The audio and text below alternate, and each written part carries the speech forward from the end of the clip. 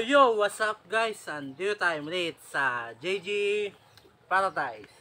So, yun, ah medyo matagal ulit tayo din nakapag-vlog. Ah, ayun, ah ngayong araw pala bibisitahin natin yung backyard ng isang legendary na tinuturing ko. Isang legendary na handa mag-share ng nalalaman niya sa mga tulad natin baguhan. So, um, taga-kainta kasi siya. So, medyo malayo yung babiyahin ko. Tapos, ah, alis na rin ako para makadating agad ako sa kanila para makapag-ikot tayo sa backyard niya. So, yun, ito yung ano, nasabi ko na ata sa inyo to, yung ano, isang legendary na tinulungan ko. Tapos, ah, ngayon bibisitahin natin. Tapos, tingnan natin baka may pang-out siya. Support natin yung ano, yung ah, pang-out niya. Kasi, ah, as in, maliit na backyard lang siya.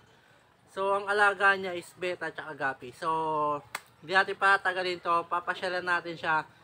Then, ah, magtatanong tayo ng mga technique or mga ibang nalalaman niya about sa mga pagpapaggamot sa gapi natin para at least maiwasan natin na namamatayan tayo lagi ng gapi. So, di natin patagalin. Punta natin si tatay. So, mamaya papakilala ko siya sa inyo para ma-make nyo rin yung isang legendary na tinuturing ko. Ah, legit na legendary to. So, tara guys, punta natin.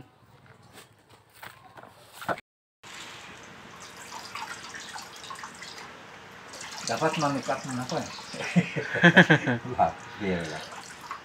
Hindi, dapat nga nakikita ka eh, para Oh, kilala ka. ikaw nila. dapat. Ito. Yan. Ipapakilala pa naman kita sa kanila. Oy, oh, wag mo na. Mystery pa ng si Bricks eh. Na subukan mo ko i-google. Writer ako eh, saka reviewer ko sa ano. Ah, Google, marami Google. akong poems, marami akong writings. Hanggang sa dito lang po na ganun. yun. Buti napaparami mo agad yung ano, no, yung Moina. Sa iba kasi namamatay kasi yan eh. Paano to? Kailan kailan uli tayo kailan, kailan uli una tayong nakita? Last year. last Simula noon. Year, last year pa yun. Ah, last year pa ba yun? Oo, oh, last year pa yun. Simula noon. Yun na. nung nawala yung ECQ. Oo. Ah, sa Tubiflex, Ano eh? pinapakain mo ring ng Oo. yes. Isikyo na yun, nang pumunta kami sa iyo ah. Nakamas na kami.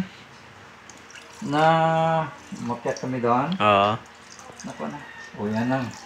Kung damihan mo ang pagpakain dyan, bukas, Patay na. patay nang mo yung kuhan mo, kailangan makras din sila. Kaya, Kailangan nyo maubos lang nila ngayon. ubos nang nila para, para medyo ano lang.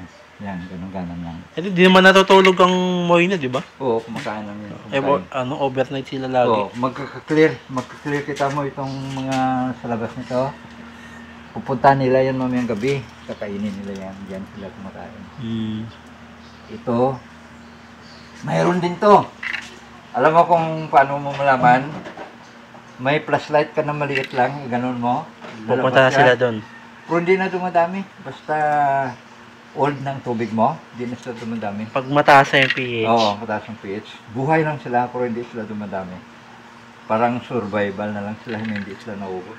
Yun, pag mataas daw ang pH, hindi na nakapagparami yung mga dap niya.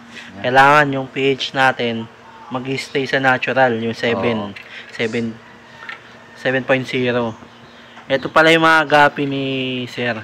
Yun. Yun, papakilala ko sana sa inyo. Ayaw magpakilala si Sir. Ah, Eh, hidden ko, muna raw. eh. Hidden ano muna raw. Yun. Saka natin makikilala. Yan, oh, pagkita mo yung dap, yung yung gapi, Ayan. yung beta. Yung, ito pala yung anak nung pinadala ko sa niyang Black Moscow. Yun. Tapos, ito yung alaga niya, beta. Ayan, huli ni Sir. Yan. Eh, pinakain pala. Ah, pina, binawasan yung pambenta nyo. Ah, Ito pala yung ano, pagbibili kayo ng Moina. Ganito karami sa kanya. Yun, marami-rami na to. Pagka nag-starter na kayo ng gantong karami, sa loob ng isang linggo, baka three times na yan. Oo, three times na yung Double dami na, nila. Double, double. everyday kasi mga anak yan. So, ayun yung Moina culture ni, ano, ni Sir. Mamaya magpapaturo tayo ng iba pa niyang technique sa Moina. Kasi, yung ibang Moina kasi na nagko-culture, tsaka yung nagbebenta, hinuhuli lang nila sa wild. Yan ako, pakita mo yan. Kaya kumakain na nga sila. oh. Dark. ha? Mm. Kumakain na siya. Oo, kanina nasa ilalim sila eh. Oo, umakyat na sila. Yan ang healthy. Ang healthy na culture. Itong isa to, medyo siyay pa eh, dito sa baba. Kasi bagong tubig. Pero sa akin kasi green water yung Green water. ano. ah, sipag lang talaga sa green water. hindi, hindi mahirap ang green water eh. Hindi mo ma, hindi mo makita kung minsan ang pan. Ayan. Hindi katulad nito, kitang-kita mo. Kita mo yan, oh. Tapos sa ano pala, sa kitikiti talaga, hindi talaga naiiwasan na magkaroon ng kitikiti yung culture natin. Hindi. Ang ginagawa ni Sir, tinatanggal. Sir, pakita natin yung panghuli ng kitikiti natin. Oh. Yun. May pantanggal di Sir. Kasi it- itong lambat na to, ah, hindi kasya yung ano, yung moina. So, lulusot yung moina rito. Kaya makukuha natin yung mga kitikiti na hindi nakukuha yung ano. Dap niya, magnadap niya pala to. Oo, magnadap niya. Hmm. Kaya ang mag- magnadap niya mahirap. Yun. Mahirap mamuha ng... magnadap niya kasi medyo malaki. Mahirap. Di lulusot. Kaya sumama yung ano, brilliant ng magnadap niya. Pero, ito yung magandang pantanggal ng kitikiti. Sa muhi na, walang problema yon Kasi ang muhi na lusot lang. Ang kuan, ang kiti-kiti, may Huwag na damihan ng mga kuan. Kasi may nagbablog dyan ng feeding niya. Lagyan niya lang isang tabo na na yes, saka biyaan niya tatlong araw, apat na araw. Pag clear na daw yon ubos na, ipatay na yon So, hindi talaga pwede yung ano, maraming ilalagay na Marami, is. hindi. Kailangan i-activate, ah, i-activate pa rin talaga. O, activate mo rin yon saka tama lang makain kasi ang tubig, sensitive masyado sa tubig to. Yung mga mga, mga dap niya, sensitive. Kaya kung masama ang tubig, wala na. Kaya yun ang ginagamit nila mag-testing sa mga river. Kung gusto nila malaman kung ang river pisonos o ano, lagyan nila ng dap niya. Pag hindi mabuhay ang dap niya, pisonos, maraming lead, maraming metal. Oo. Whereas kung buhay, flowing, Oo. maganda yung ano, mar- marami ang bit. Ano, ano. Ah, kaya kadalasan ng mga dap niyan, Mga dap sa niya. mga stock water na bubuhay. Oo, sa maganda na Na pH. Mas maganda yung pH. pag sobra naman ang stock water na matagal, pan na hindi na stagnan, Ah. patay sila. Hindi sila mag hindi sila mag ano, survive. So, ayun yung makukuha nating technique kay Sir Roger. Sa mga sakit pala, pagka nagkakasakit yung mga isda nyo, Sir, anong ginagawa nyo? Kunyari, nagkaroon ng pin rot. Yung pinrat, ilagay mo lang sa mababaw na tubig. Katulad nito, walang pinrat problema dito. Pag aquarium na mataas, Oo. malamig, pinrat. Anong gamot ginagamit nyo dun? Yung tetracycline na ano ko na yung Facebook eh. Tetracycline. Oo. Nagamit din kayo ng talisay. Ah, ako hindi naman sa dinadaon kong salisay, no? Ang salisay, alam ko may tannins yun. Oo. Okay lang. Pero in 3 days, ang talisay wala nang effect eh. Kailangan tanggalin na. Tanggalin mo na at baguhin mo na. So maganda rin siya sa isda, basta Oo. tatanggalin lang siya, no? Tanggalin mo lang, hindi mo na abutin ng 3 Kasi yung days. tanis, di ba, antibacterial? Oo, antibacterial. Kaya ang ginagamit ko, hindi ko gumagamit ng tanim. Kasi ang tanim, nariyan ang mga bakterya at mga Ay, mga halaman. mga algae o Oo. wala, wala. Ang gusto mo i-vlog mo kung paano mag-breeding, ng ganito. beta. Oo. Yung Halimbawa, ito ang fund mo ng mag-breeding ka. At least ganito kalaki, no? Hmm. Maglagay ka ng buti.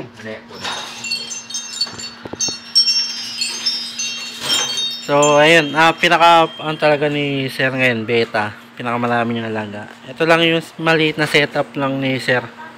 Ayan, yan lang. So, ano lang talaga siya, happy-happy lang din. Yun, ah, hindi natin, hindi na, di ko pala mapapakilala si Sir sa inyo kasi yun nga, ah, nahihiya siya. So, ayun. Tuturo na lang na sa natin sa ay tuturo na lang niya sa atin yung pagmomoy na niya. Later on, magbablog na ako yan talaga step by step. Yan, Ito magbablog, magbablog din pala si Sir. Example, ito ang ang breeding kuan mo, huwag kang mag-breeding sa maliit. Malaki ang breedingan mo. Lagyan mo ng buti. Pwera na lang halaman ha, huwag na halaman kasi diyan ang gagaling ang ang rat ng itlog. Yon. Example, ganon. Ang lalaki dito, Oo. Damihan mo yung para yung babae makapagtago. So, kahit na 2 days, 3 days ang babae hindi pa nag-itlog, hindi siya maano kasi magtatago lang siya diyan. Ngayon, Ah. ang lalaki, pakainin mo ng pakainin. Ang babae, pakainin mo. Total, magkasama sila. No problem, hindi naman sila magkita kasi yung babae ah, pagtago. tago. Ilan babae lalagay dyan? Ah, Ilan babae? isa lang. Isang babae. Isang babae, isang lalaki. As- I-imagine na lang nila na ito na ang ano, ang lalaki isa lang dito. Ngayon, hindi na kailangan na ikulong mo pang babae na ganon kasi anytime na gusto ng babae magpa makipag-mate. magmate, lalabas na yan. Lalabas na lang siya, no? So punuin mo to ng buti. Hala, puno. Para may taguan. Oo, may taguan. Maliit lang na lugar para sa lalaki. Ngayon, safe ng babae mo, hindi na mabugbog yon, hindi malamog. Ngayon, kadalasan 2 days lang pa na siya eh. Nagbe-breed na eh. Naglabas na ng itlog. Oo. Pagkalagay mo ng buti nito, lagyan mo ng lalaki, ang babae, wag mo lang ilagay. Makita mo na ang lalaki conditioned na, lagyan mo na ng babae. Pag may babae niyan, habula-bulin niya yon. Prutago ang babae. Next day na yan, makita mo may bula na siya na nest. Gusto na niyang Oo. makipag-mate, no? Mga 8 o'clock, 9 o'clock, ang babae pupunta na yan dyan. Magmi-mate na sila. Yan. Yan yung ma-share Yan sa atin kung paano mag-breed. Ngayon, pag nag, ano na siya, pag naglapit na yung babae, makita mo naman, ka, walang problema kahit titingnan mo sila na nagme-meeting, hindi yun, Hindi mabubugaw. hindi mabubugaw ha.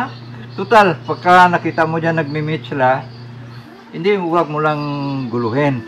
Ang babae, silip-silip ka lang sa malayo, pagka ayaw na ng babae mag-meeting, wala na siya dyan, tatago na siya. Pero kung nagmi-meet pa sila, makita mong magkasama silang namumulot ng itlog, nilalagay sa ibabaw. Ah, by the way, ang ginagamit ko na ano, na nilagyan ng itlog, yung dahon ng lugbate. Alam mo lugbate? Oo. Yun. Mayroon yun sa labas. Ha? Kukuha tayo ng lugbate. Ayun yung ginagamit ko para sa ano. Para sa taguan ng itlog.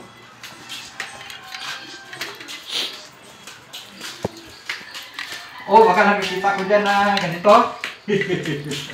Mainit. Ito pala yung ibang beta ni Sir. Ah, Ayan. ito, lugbate. Ayan yung mga beta ni Sir. Hmm. Ito, lugbate. Yan. Yan, iano mo lang yan. Ay, hindi talaga talisay gamit nyo. Hindi. Kasi ito, antibacterial din to. Sa DOH, antibacterial to. Kaya, Ah, may antibacteria din nilalabas yan. oo, ito. At saka, kahit na one week to, hindi nabubulok to.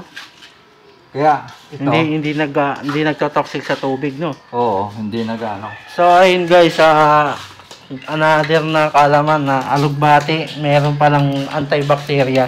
So, pwede, Antibacterial to, pwede natin gamitin yon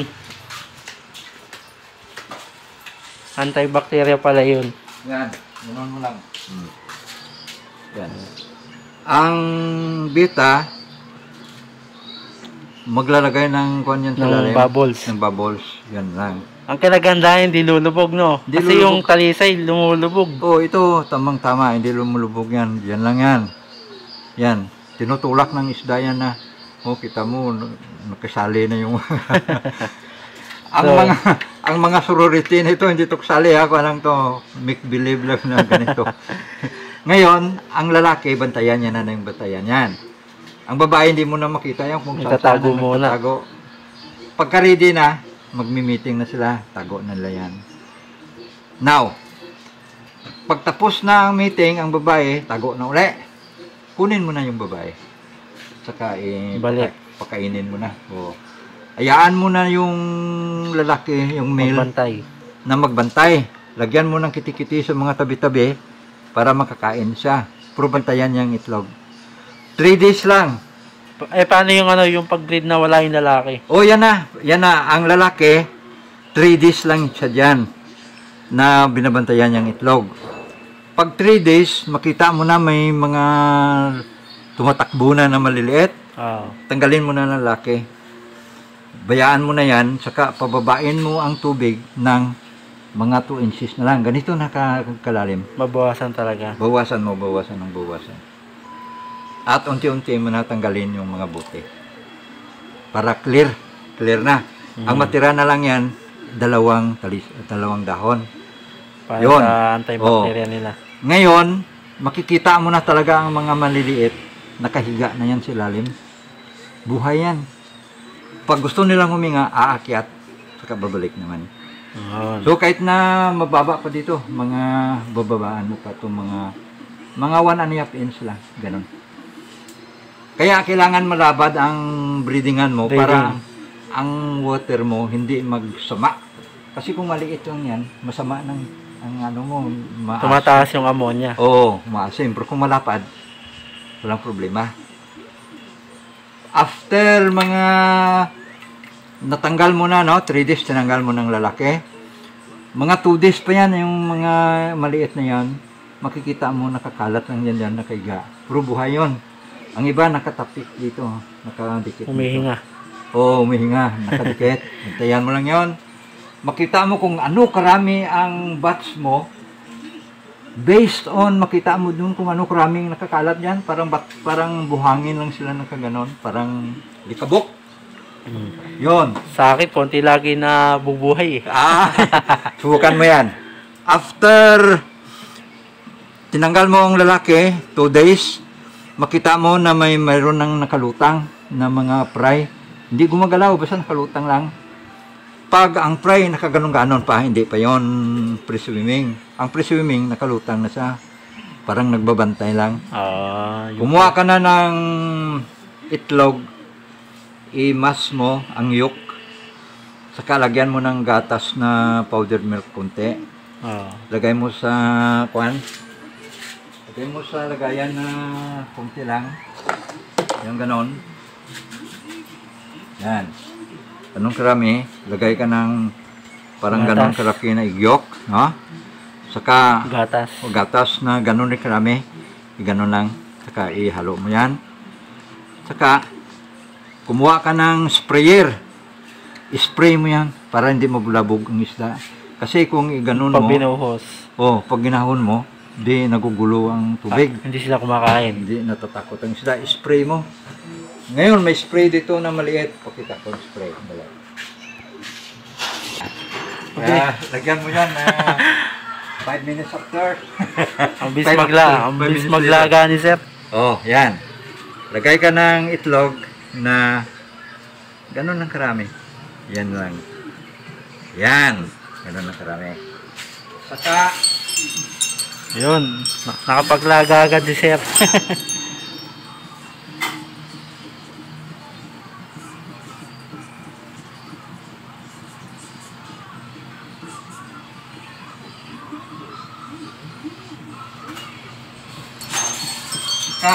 powdered milk.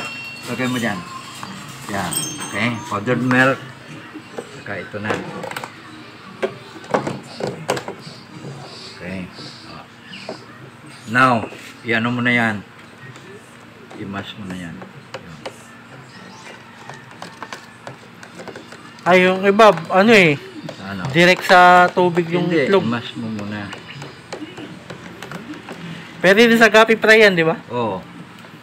Ah, hindi. Kuwan lang. Beta lang talaga. Bita lang to. Kasi ang gapi malaki. Ah, No need, no problem ang gapi. Yun, yun. sulain mo yun. Oh, hindi daw pwede sa gapi to. Pwede rin sa gapi. Pwede, pero Pero, naku, hindi na, hindi makita na ng gapi to. Maliit na masyado. Pero ang beta, maka-level talaga sila. Yan. umalit kasi fry ng beta. Yan. Yung mga ito, kakainin ng gapi ito. Okay lang. Eh, wala namang reklamo yung mga yan eh. Kahit ano yun. Oh, yun, yung, yun yung pinagtatalunan nila kung ano daw maganda pagkain. Lagay mo sa sprayer. 10 piso lang naman itong sprayer eh. Yan. Hmm. Spray mo once lang. Halimbawa, ito na yung mga beta mo na maliliit, na? Mm. Ito, tinanggal mo na ito. Kasi wala nang, wala na sila dyan. Diyan na. Clear na yan. Yan. Sprayan mo lang nito. Yan.